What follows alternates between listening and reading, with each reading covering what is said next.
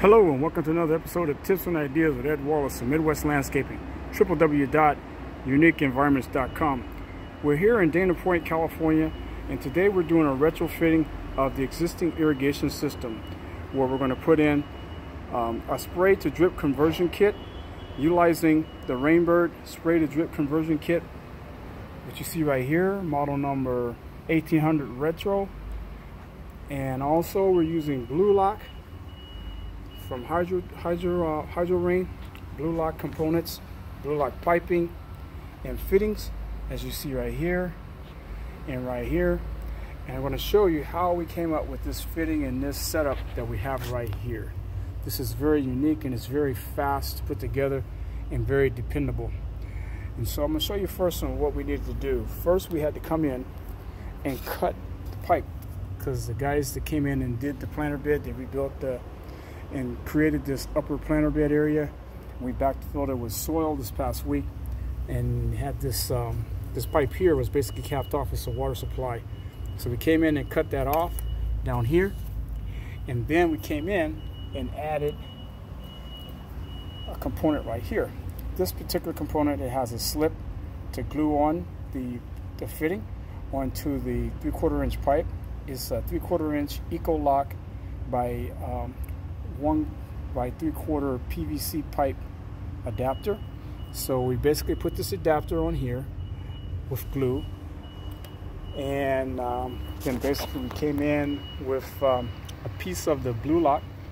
This is the Blu-Lock that we use here. This particular Blu-Lock piping is rated for um, 320 pounds PSI. So it's very, very strong. Kind of see the uh, the diameter and the thickness of this particular pipe is very thick. This actually uh, has ultraviolet properties built into it also. So if this was sitting on top of the soil like this, we wanted to plug into this. If we wanted to use this pipe as a distribution pipe, a three quarter inch distribution pipe, we could use that. We could use this pipe. Uh, I do have one job where we utilize this as a drip uh, main line, our main line for a drip setup. And it's been working fine for the past uh, nine years plus no callbacks, no problems, no leakage. And so we utilize that pipe and um, we utilize another Blu-Lock Eco-Lock component, which is this T. And this T had a thread in it. So we had a threaded slip slip and we basically put this down, added our piece of um, Blu-Lock onto the fitting like that and came up.